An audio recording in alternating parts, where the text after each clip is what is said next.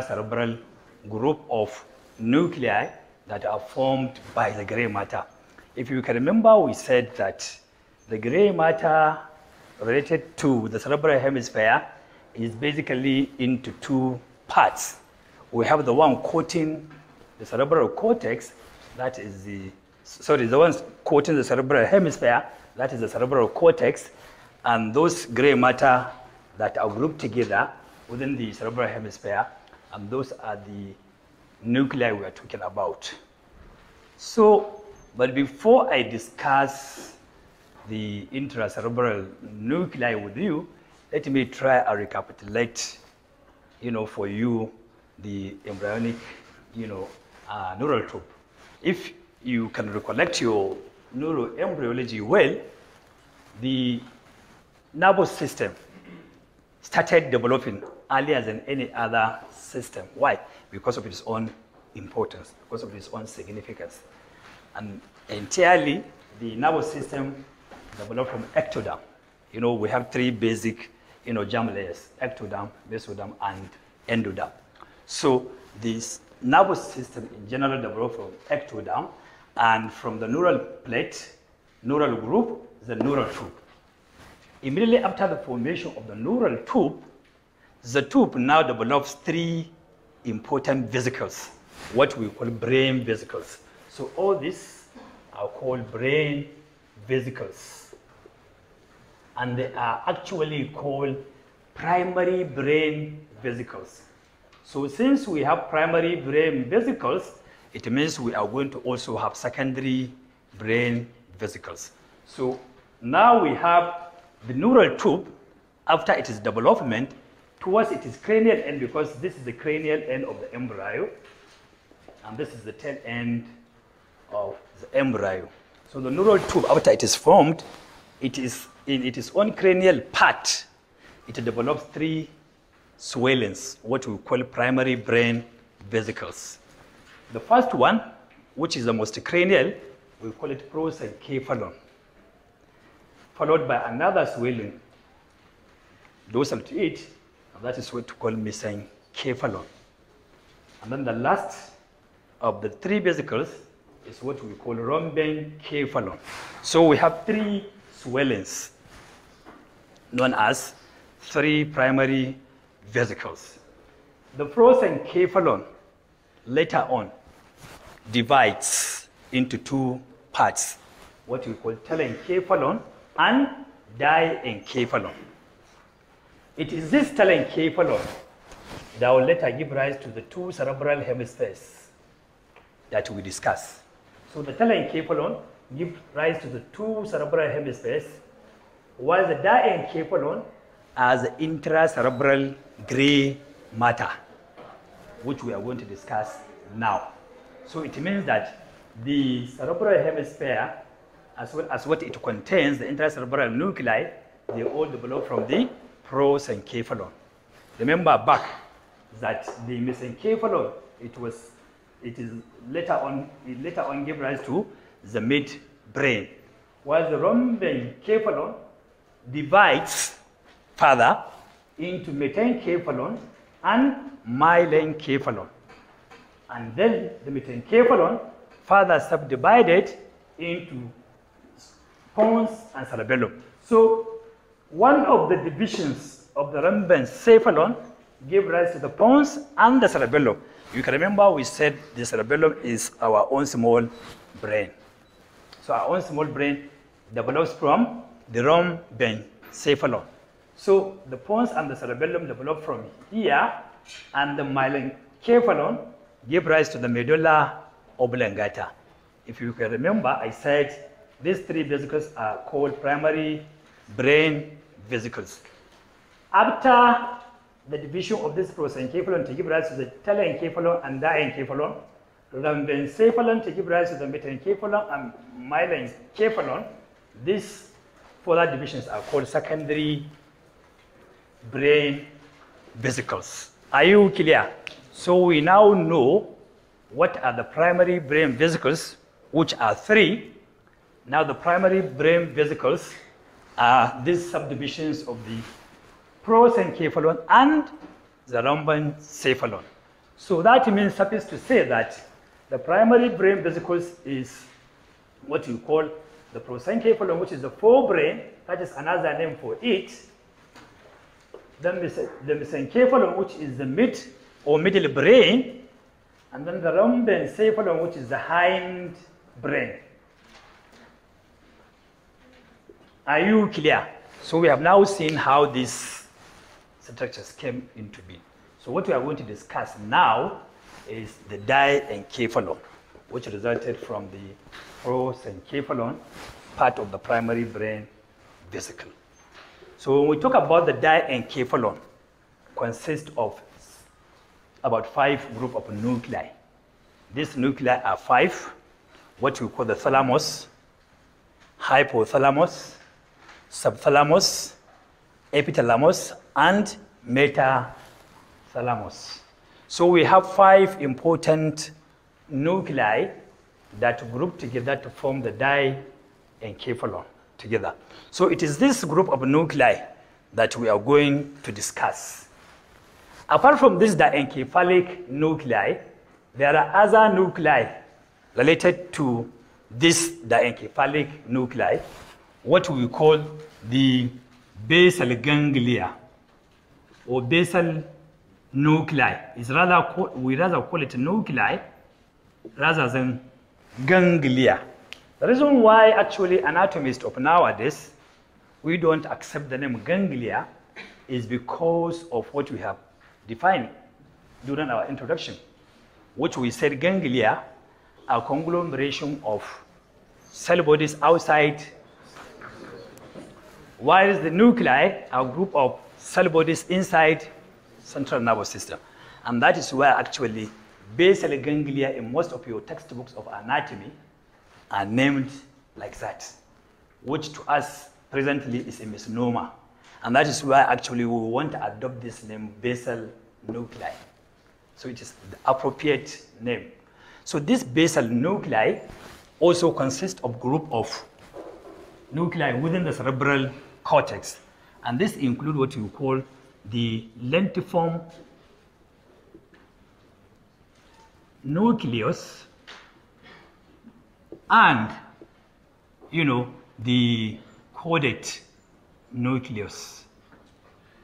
Caudate what? Caudate nucleus. So this lentiform nucleus includes what we call the putamen and the globus, globus pallidus. So the two together, you get my point? The two together, lentiform nucleus and the caudate nucleus, they are also called corpus striatum. Corpus what? Corpus striatum. So we have now seen this group of nuclei that are found within the cerebral hemisphere.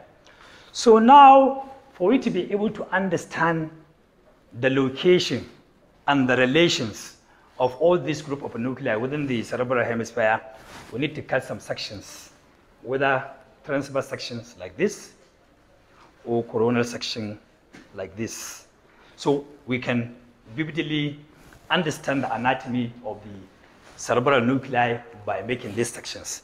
So by the time you now cut, you know, the transverse section like this across the junction between the frontal lobe and the temporal lobe below, you remove the top, you're going to see this. You get it? So now, this horizontal section of the cerebral hemisphere, you are going to see this intracerebral nuclei. So if this is anterior aspect of the cerebral hemisphere, this is the posterior aspect. So it means that this is part of the frontal lobe here, and this is part of the occipital lobe at the back here. And so this is just part of either frontal portion of the frontal and the temporal below, and this is it. So in the midline here, you are going to see some midline structures. So in the midline here, this is just midline, uh, midline here. So by the side of the midline here, anteriorly, you have spaces. You see, if you can remember, we said each of the cerebral hemispheres has spaces, and those spaces are called ventricles. And these ventricles, they are divided into three, you know, or four. We have first, uh, first ventricle, second ventricle, third ventricle, and fourth ventricle. Some of you may likely see, why did I say first and second? It is the first and second that are now being merged together to form what you call lateral ventricle. So the first and the second ventricles are the lateral ventricle, and then we have the third ventricle, and then we have the fourth ventricle.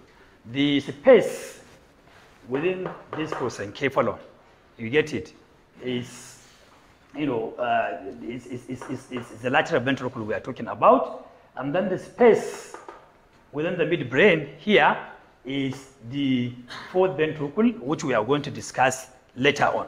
So now we've seen that we have some of the spaces that have been, you know, seen when you cut that section in the frontal area.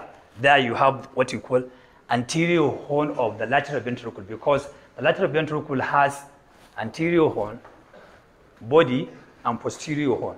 So part of the anterior horn of the lateral ventricle is seen when you make this cross section. And so I'm sure you can remember our internal capsule. We have discussed internal capsule, part of the projection fibers coming from the cortex and descend down as descending fibers. So this internal capsule, as we said before, forms something like a V-shaped structure, which is this one. Are you clear? And this V-shaped structure now is as a result of the pushing of the lentiform nucleus towards the midline. So this is the lentiform nucleus here, which is just like a wedge. Initially, the internal capsule is vertically downward. So by the time this lentiform nucleus now pushes toward the midline, pushes those descending fibers, so it bends and forms caps, so that, so that it forms something like a V-shaped structure. So that at the end of the day, the descending fibers, those projection fibers, the internal capsule, it has one of the limb facing anteromedially, and then you have another bend which is facing posterolaterally. Are you clear? That is the anatomical description.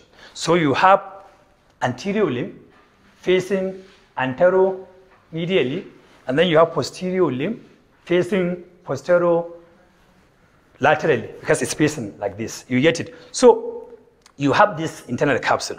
So lateral to the internal capsule, this is our wedge-shaped structure, what you call the lentiform nucleus. This lentiform nucleus, which is this one, on this side, it is made up of two group of nuclei. This nuclei, we have what we call the putamen, and then we have the globus pallidus. The putamen is this one, that is the most lateral aspect of the lentiform nucleus. Are you clear? And then we have the globus pallidus, which is the innermost. And this globus pallidus is further subdivided into internal part and external part. So we have what we call globus pallidus interna and globus pallidus externa. The two together, they form the globus pallidus. So we have now seen the lentiform nucleus. So this lentiform nucleus Lateral to it on either side, on this side and on this side, you have the external capsule. So since here we have the internal capsule, here on the lateral side of the lentiform nucleus, we also have the internal capsule. Are you clear? And just lateral to the external capsule, we have one sheet of gray matter known as claustrum. We are going to discuss all this. These are all introduction. So we have now seen this. And so what are the structures on the medial side of the internal capsule? We have now seen the gray matter on the lateral side of the internal capsule. That is the lentiform nucleus, made up of putamen on the lateral side and globus pallidus on the medial side. And we said that the globus pallidus is further subdivided into two. Globus pallidus interna and globus pallidus externa. You get my point? So we have seen this. And on the medial side, anterior medial to the anterior limb, uh, anterior limb. So we can even say in the simple term, medial to the anterior limb, we have what you call the head of the caudate nucleus. We have the head of the caudate nucleus and on the posterior limb, medial to the posterior limb of the internal capsule, we have these two diencephalic, part of the diencephalic nucleus, that is the, the thalami. So you have thalamus on the left side, you have another thalamus on the right side.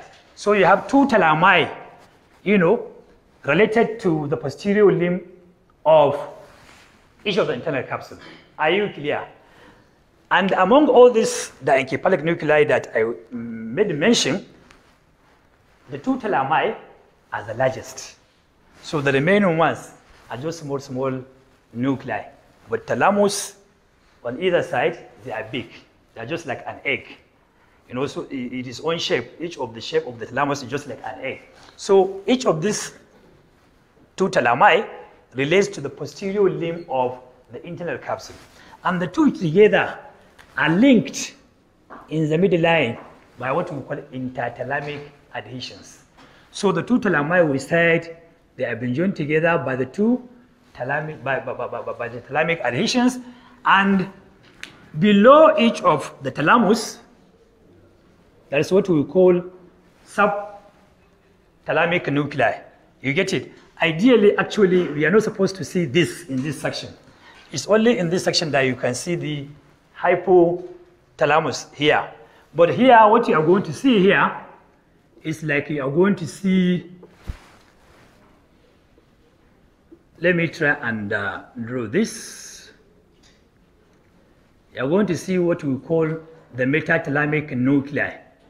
You have what you call one, one large nucleus on the medial side, and then there's another nucleus on the a little bit lateral side. So you have what we call medial geniculate body, MGB, and then we have lateral geniculate body.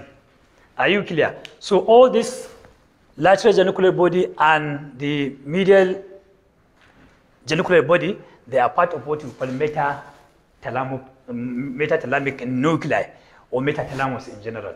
So we have now seen this diagram. So now if we remove, if I now cut a section of this, sagittal section like this, you know, this is what? This is a transverse section like this. So now I make a sagittal section like this, and then I look at it on this side, sideway. I'm going to see something like this. So the caudate nucleus is just like a C-shaped structure so that it curves over, if this is the thalamus, if this is the thalamus, and this is the caudate nucleus, the caudate nucleus is just like, you know, uh, uh, a fish, so to say. It has a head, it has a body, and then it has a tail. You get my point? So if I assume this is the thalamus, thalamus looks like an egg, of a hen.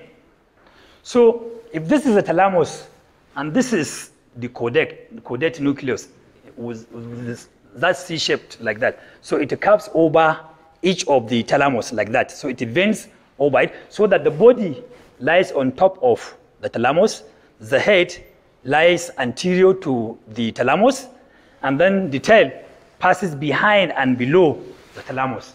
And that is exactly what I have drawn here. So here you can see that the caudate nucleus, which is part of the basal nuclei, consists of the head, body, tail.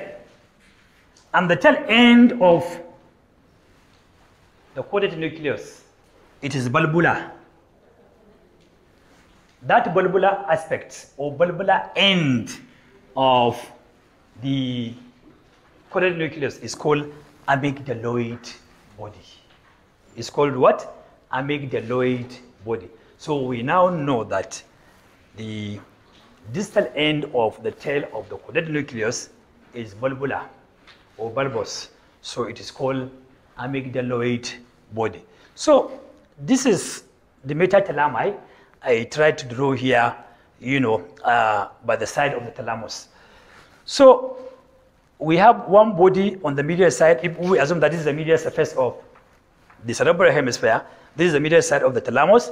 So here we have the medial genicular body, one group of nuclei together like that, round in shape by the medial side of the thalamus, below and medial.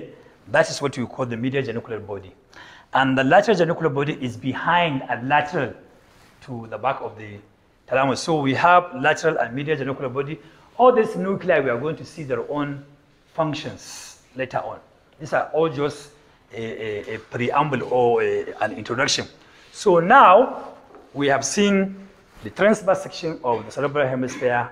We have also seen the sagittal section of the cerebral hemisphere, whereby I was able to show you the transverse section of the intracerebral nuclei and also the side view of the thalamus and it is associated, you know, uh, metathalami by the side, as well as the caudate nucleus. And by the time I now take a coronal section like this, and then I look at it from the back, that is what I'm going to see here. So when I now make this section like that, you know, here is part of the corpus callosum, here. You get it? And so, telling you, I'm going to see all those structures that we have seen here when you make that section. So here, what you are also going to see, because when you now cut like this, you are going to cut across some portion of the midbrain, because this is uh, coronal section. So here, just below, you have the thalami here. So below the thalami are also group of nuclei here, what we call the hypothalamus. So hypothalamus is a sheet of gray matter just below each of the thalamus. And so we have one sheet on one side, you have one sheet on the other side. So you have subthalamus, you have hypothalamus here, you have another hypothalamus here. That is why it is called hypothalamus, group of nuclei, part of the diencephalic group of nuclei that lie below the, uh, below the thalamus. And that is why it is called hypothalamus. Under the thalamus, under each of the thalamus is another group of nuclei known as subthalamus. There's a difference between below and under. You get my point? For example, now this is my fist, right? I can say that this marker is lying, is it anterior or posterior? Anterior, right? Is it below or above? Below. So this is hypo. If I put it here, sub, that is exactly what it means. So there's a difference between below and under. So this subthalamic nuclei lies under each of the hypo, uh, under each of the thalamus. And so we have subthalamic nuclei on either side of the thalamus. And then we have another sheet of, you know, uh, gray matter that is related to the midbrain, what we call substantia nigra. You understand? Which are all part of the basal ganglia or basal nuclei that we are going to discuss later on. So all this group of nuclei that I've just written, you know, on this board, as the nuclei that we are going to uh, discuss in in our lectures of the intracerebral think